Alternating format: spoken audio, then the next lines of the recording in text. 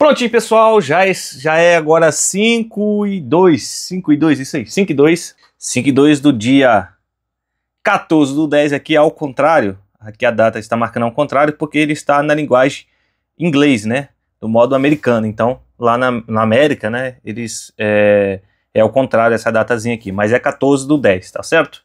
Tá aí, ó, é 17 horas e 3 minutos, bateria em 92%, como eu mostrei, eu tinha colocado, tirado da porcentagem e, é, de, de tensão, né? E coloquei a porcentagem da bateria. Então a gente, a gente tá vendo aqui, ó. Olha aí. Tem até que dar limpeza que eu furei aqui, né? Tem até que dar limpeza nisso aqui. Então, todas as baterias estão com quatro pauzinhos, como vocês estão vendo aí. Mantendo todo o consumo da casa. Agora tá bem baixo o consumo ali, ó. Tá? Ah, gente, vamos lá. Agora eu quero falar para vocês o que, que eu tô fazendo aqui não repare que tá uma baguncinha aqui. Tá, o que acontece? Eu tô eu tô usando aquelas estações ali, igual vocês estão vendo. Né? Aquelas estações ali é da é, é B80P e a outra é AC60P. São estações solares e essas estações, essa aqui é uma bateria é, externa, vou mostrar para vocês. Olha, essa aqui é uma bateria externa, tá?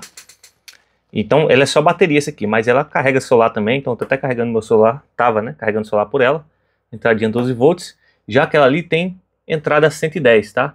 Essas estações aqui, ela tem um, ela é diferente, ela é diferente dessa aqui, por exemplo, ó. essa aqui, o modelo dela é diferente, por quê? Tá, tá ligado aqui, ó, deixa eu desligar aqui, né, dá, já dá, até pode dar uma olhada aqui que é um pouco diferente, né, ó, e essa aqui, essa aqui, que é aquela que é a estação no caso, como vocês estão vendo, ela é 500 watts, tá vendo?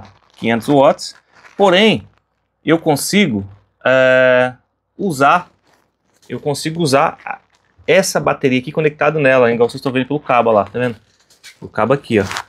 Já essa aqui não me dá essa possibilidade, então é como você compra um carro, né? Você compra, ah, vou comprar um carro e esse carro é é, você vai comprar novo, é um carro básico, né? E tem um carro completo, né? O premium, né?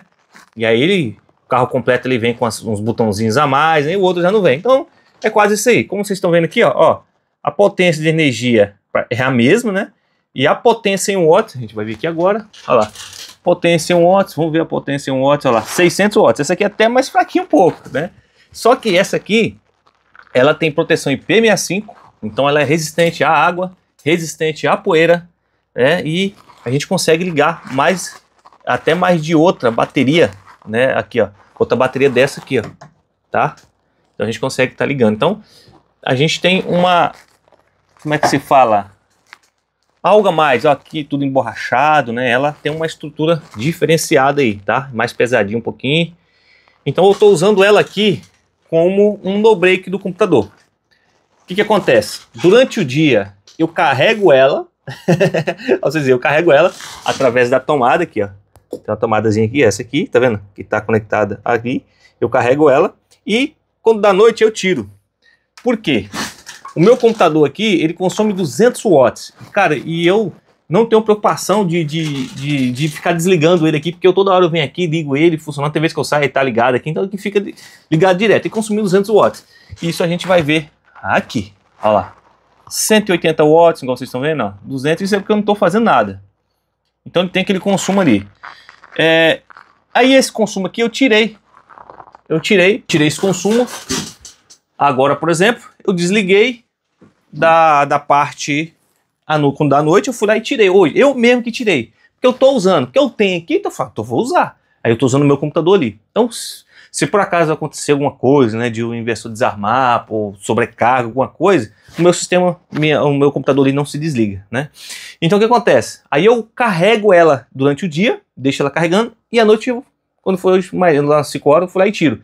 É a autonomia mais ou menos, com esse consumo aqui, de 5 horas.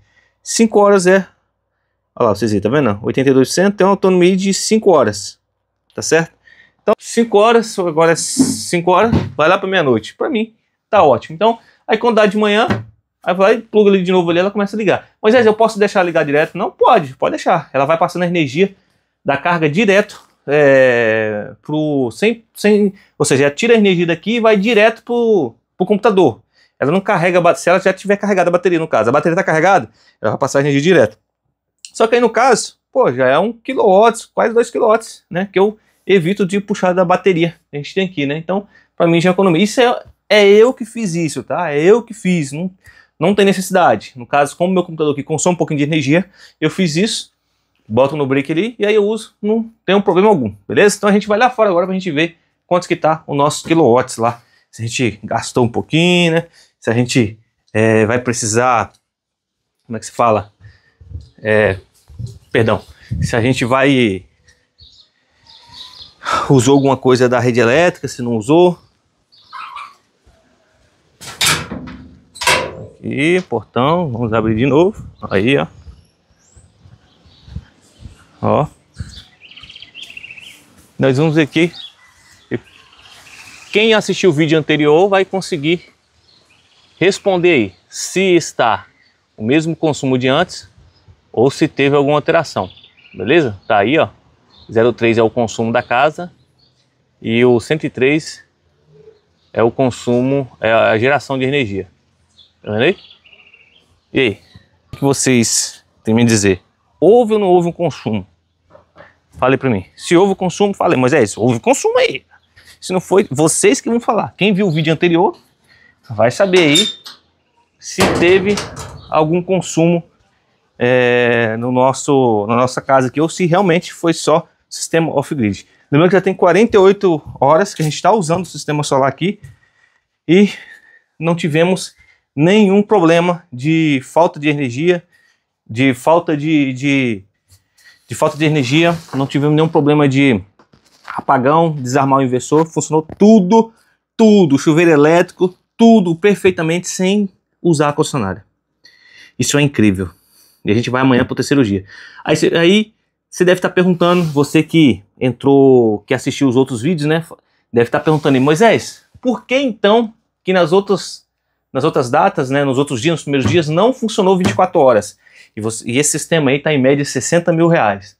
Gente, não funcionou 24 horas, porque quando eu comecei a gravar o vídeo, é, a, foi à noite, não me engano, né? Não lembro agora. Quando eu comecei a gravar, isso, foi à noite, as baterias já estavam com 50 então chegou no outro dia, a bateria, é, o sistema aqui desligou, quando chegou em uma tensão, ele desligou, e aí eu tive que usar a rede elétrica. E no outro dia, gente, choveu, ficou tão nublado, mas tão nublado, tão preto, que não gerou para nada. Só manteve a, a, a, a, Não, perdão, perdão. No primeiro dia, isso, não gerou para nada. E aí no terceiro dia também, que foi na segunda noite, né? Aí o, o inversor Vamos lá. Você deve estar se perguntando, Moisés? Vamos lá. Você deve estar se perguntando, Moisés, o que, que houve? O que, que aconteceu para o primeiro dia não funcionar? Gente, primeiro dia a gente começou o sistema com a baterias em 50%. Pronto. Chegou no outro dia, não carregou 100%. Então nós não conseguimos virar à noite novamente. Porém, já é, a partir do terceiro dia, que, que aconteceu? As, as placas solares carregaram topada a bateria e ficou mantendo durante o dia as, as, coisas, né, com a placa solar, ficou mantendo a bateria carregada. Chegou, no, chegou à noite, chegou no outro dia, rodou funcionando zero bala, 24 horas. E hoje é o segundo dia, ou seja, já deu 48 horas agora e, tá, e a bateria está ali, ó, 100% carregada, tá? E vai rodar 24 horas de novo. Então o que acontece? Agora ficou aquele ciclo infinito. Vai gerar energia de dia, vai armazenar na bateria, e vai mandar aqui para nossa bateria, quer dizer, é, armazenar na bateria e à noite a gente vai usar. Então vai ficar esse ciclo. Perfeitamente, está atendendo duas casas, está é, a geladeira, duas geladeiras, uma geladeira de grande porte, então praticamente é três geladeiras ligadas, é, computador, ah, deve você estar tá perguntando, e ar-condicionado, Moisés, funciona? Sim, ar-condicionado funciona também. É, é claro, né, que vai depender do consumo aí que você tiver, se for duas casas que dois ar-condicionado, até que durante o dia com sol você vai conseguir manter perfeitamente. Já à noite você vai depender da bateria.